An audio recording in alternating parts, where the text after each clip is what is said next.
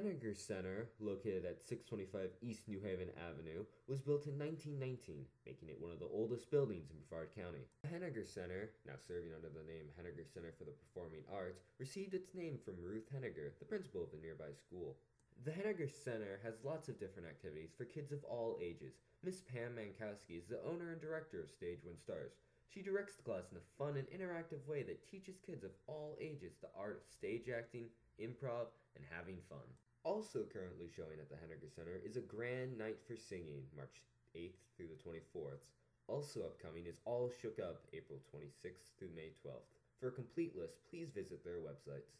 And don't forget the Henegar Center during the summer. Workshops are available for all ages. Upcoming is 101 Dalmatians for grades 1 through 5 from June 10th to July 11th, and Beauty and the Beast grades 6 through 9 from June 10th to July 13th. For more information about these events and to get the forms, please visit www.henegar.org. And don't forget to like their Facebook page at www.facebook.com backslash Henegar Center.